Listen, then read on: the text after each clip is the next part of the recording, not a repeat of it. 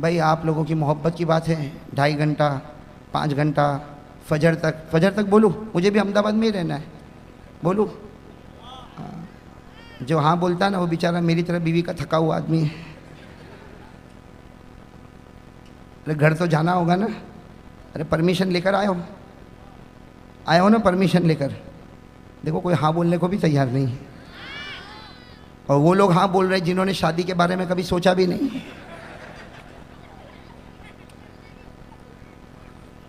चलो आप कहो तो शुरू करें हम। भाई शुरू कर देना।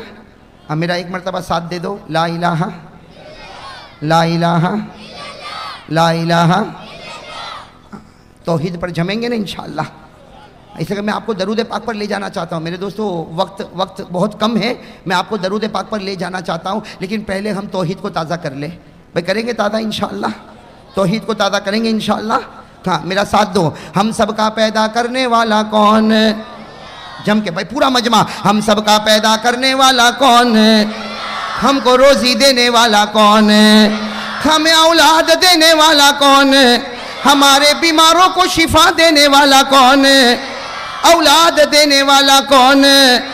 दिन को रात में और रात को दिन में बदलने वाला कौन है? अमीर बनाने वाला कौन? गरीब बनाने वाला कौन? अज़ीज़ बनाने वाला कौन? जलील करने वाला कौन? मुर्दे को ज़िंदा और जिंदे को मुर्दा करने वाला कौन? या आसमान और ज़मीन का पैदा करने वाला कौन? या आफ्ताब और मेहताब का पैदा करने वाला कौन? सब कुछ करने धरने वाला। हाँ, इसलिए मेरे साथ में तोहिद को मज़बूत कर लो। तोहिद को मज़बूत करो। करोगे इनशाला हाँ, देखो इस तरह मज़बूत करो। कि मैं आपको बताता हूँ कि तोहहीद में अल्लाह ने इतना पावर रखा। तोहहीद में अल्लाह ने इतना पावर रखा। एक सहाबी का नाम आपने सुना होगा शायद सुना होगा सुना ही होगा। एक सहाबी का नाम हज़रत सलमान फ़ारसी। सुना? हज़रत सलमान फ़ारसी रदी अल्लाह तु हाँ, हज़रत सलमान फ़ारसी इनकी ज़िंदगी भी अजीब है। हाँ, इन कल मौका रहेगा तो मैं हज़रत सलमान फ़ारसी ने ईमान कैसे कबूल किया वो भी एक अजीब व गरीब दास्तान है। सुनोगे कल इन आज तो मैं बताना चाहता हूँ तोहीद। कह दो, आज बताना चाहता हूँ तोहीद। ला इलाहा। हज़रत सलमान फ़ारसी रज़ी अल्लाह तु का एक जवान बेटा जिसकी उम्र तकरीबन 16 या 17 साल। हज़रत सलमान फ़ारसी रदी अल्लाह तु का एक जवान बेटा, जिसकी उम्र तकरीबन 16 साल या 17 साल। बहुत बीमार बहुत बीमार बहुत बीमार। इतना बीमार इतना बीमार कि हज़रत सलमान फ़ारसी रदी अल्लाह तु फरमाते, सिर्फ़ मैं नहीं मेरे घर वाले, मेरे महल्ले वाले और मेरे तमाम रिश्तेदार समझ गए कि थोड़ी देर में ये बच्चा अल्लाह को प्यारा हो जाएगा। थोड़ी देर में यह बच्चा अल्लाह को प्यारा हो जाएगा। इसलिए कि बच्चा लंबी लंबी साँसें लेता है और आखिरी आखिरी साँसें लेता। हज़रत सलमान फारसी रज़ी अल्लाह तु तो आखिर बाप थे। अरे मेरे दोस्तों, बताओ वो बाप के दिल पर क्या गुजरती होगी? जिसका जवान बेटा, सोलह, सत्रह साल का जवान बेटा, वो आखिरी सांस लेता हो। हज़रत सलमान फारसी रज़ी अल्लाह तु तड़प रहे। आप भी रो रहे, घर की औरतें भी रो रही, बच्चे भी तड़प रहे, फैमिली वाले भी रो रहे। लेकिन मेरे दोस्तों, जोहर का वक्त हो गया। कौन सा वक्त हुआ? जोहर का वक्त हुआ और मस्जिद नबवी में अजान हुई। अरे कहो भाई, मस्जिद नबवी में अजान हुई। अल्लाह अकबर अल्लाह अकबर। जहाँ मस्जिद नबवी में अजान हुई, हज़रत सलमान फारसी रज़ी अल्लाह तु मेरे दोस्तों, वो नमाज़ की मोहब्बत कैसी मोहब्बत थी? हज़रत सलमान फारसी रज़ी अल्लाह तु ने घर वालों को कहा कि देखो, मेरे बच्चे का ख्याल करना, और वैसे भी आखिरी घड़ी आ चुकी है, लेकिन नमाज़ में नमाज़ में अल्लाह मुझको बुला रहा है। बेटे की मोहब्बत इधर है, अल्लाह की मोहब्बत उधर है और मेरा ईमान ये कहता है, बेटे की मोहब्बत पीछे कर दे, अल्लाह की मोहब्बत आगे कर दे। अरे कहो ना सुबह अल्लाह। ज़ोर ज़ोर से कहो ना सुबह अल्लाह। इसलिए कि ये वाक़ सुनने जैसा मेरे दोस्तों और अमल करने जैसा हज़रत सलमान फ़ारसी रदी अल्लाह तु ने अपने घर वालों को समझाया कि मस्जिद नबवी में अजान हो चुकी। कहो, मस्जिद नबवी में अजान हो चुकी। हज़रत बिलाल ने पुकार लिया, अल्लाह अकबर अल्लाह अकबर। हज़रत सलमान फ़ारसी रदी अल्लाह तु मस्जिद नबवी की तरफ़ दौड़े। जब मस्जिद नबवी में पहुँचे, नज़र पड़ी, किस पर? आहा, मेरे दोस्तों, वो नज़र भी कितनी मुबारक होगी। नज़र पड़ी आकाए नामदार, ताजदार मदीना, फूलों का फूल, मोहम्मद मुजतबा, अहमद मुस्तफ़ा, पर नज़र मुबारक पड़ गई, आँखों में आँसू आ गए। आँखों में आँसू आ गए। जनाब नबी करीम सल्लल्लाहु अलैहि वसल्लम ने पूछा माँ युब की कया सलमान? ए सलमान रोता क्यों है?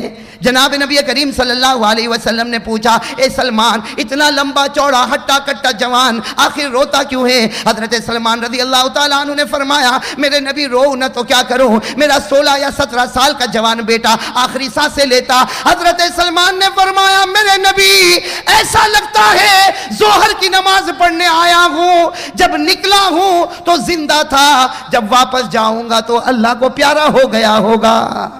बताओ मेरे दोस्तों, सलमान का दिल कितना दुखा होगा। जब ये जुमला कहा होगा कि नबी आपके पास आया तो मेरा बेटा ज़िंदा था, लेकिन जब जाऊँगा तो इसलिए कि आखिरी आखिरी लंबी लंबी साँसें ले रहा था। अल्लाह के रसूल साहब ने फरमाया, सलमान, जा, एक प्याला लेकर आ। एक प्याला लेकर आ, उसमें पानी लेकर आ। हज़रत सलमान फारसी रदी अल्लाह ताला क्या करे? बेचारे गए, प्याला ले, लेकर आए, कहीं से प्याला लेकर आए, उसमें पानी लेकर आए। हमारे नबी सल्लल्लाहु अलैहि वसल्लम ने क्या फरमाया? हमारे नबी सल्लल्लाहु अलैहि वसल्लम ने फरमाया, सलमान, वो आयत पढ़, ये पानी पर वो आयत पढ़, जिससे बढ़कर कोई अजीम आयत नहीं, जिससे बढ़कर कोई तोहीद नहीं, और मैं भी वही आयत पढ़ूँगा, जिससे बढ़कर कोई अजीम आयत। हज़रत सलमान कहने लगे, अल्लाह के रसूल, मुझे नहीं मालूम। अल्लाह के रसूल मुझे नहीं मालूम, आप प्याला मंगवाए, आपने पानी मंगवाया, लेकिन आप कहते वो आयत पढ़ जिससे बढ़कर कोई आयत नहीं, वो तोहहीद का सबक पढ़ जिससे बढ़कर कोई तोहहीद का सबक नहीं, लेकिन वो आयत करीमा मुझको मालूम नहीं। तो हमारे नबी सल्लल्लाहु अलैहि वसल्लम ने फरमाया, या सलमान, अमा तकरा, अमा कराता आयतल कुर्सी?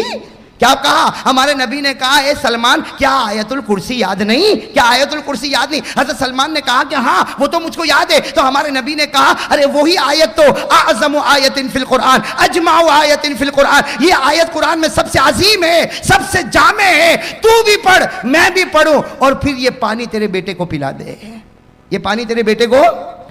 चलो, हमारे आका सल्लल्लाहु अलैहि वसल्लम ने आयतुल कुर्सी पढ़ी, हज़रत सलमान ने आयतुल कुर्सी पढ़ी। आपको भी याद होगी। याद होगी। आयतुल कुर्सी याद है या सिर्फ़ कुर्सी याद है? याद है ना?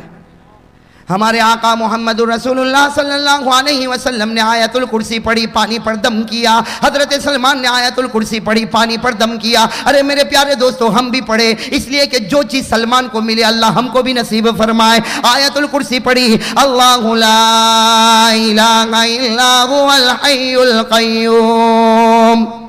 सब कह रहे थे ना, याद है? तो फिर पढ़ते क्यों नहीं? साथ में पढ़ो ना अल्लाह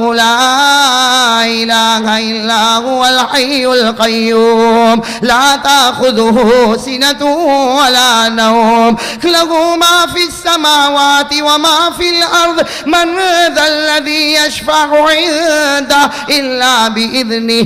यअलमु मा बैना अयदीहिम व मा खल्फहुम वला युहीतून बिशैइन मिन इल्मि इल्ला बिमा शाअ कुर्सी समावाति वल अर्द वला यऊदुहु हिफ्जुहुमा वहुवल अलीयुल अज़ीम हमारे आका मोहम्मद सल्लल्लाहु वसल्लम ने आयतुल कुर्सी पढ़ी दम कर दिया हज़रत सलमान फारसी ने आयतुल कुर्सी पढ़ी दम कर दिया हमारे नबी सल्लल्लाहु अलैहि वसल्लम ने फरमाया ए सलमान प्याला उठा ले जा अपने बेटे को पिला दे अपने बेटे को हज़रत सलमान फारसी रदी अल्लाह तु ने प्याला उठाया दौड़े दौड़े दौड़े दौड़े। कहाँ जा रहे? घर लेकिन मेरे दोस्तों कोई और होता ना? कोई और होता तो घर में जाता पूरी दास्तान सुनाता। इसलिए हम लोगों को तो आदत है बीवी को हर वो बात बता जो बाहर हो रही है। है ना? करते नहीं करते?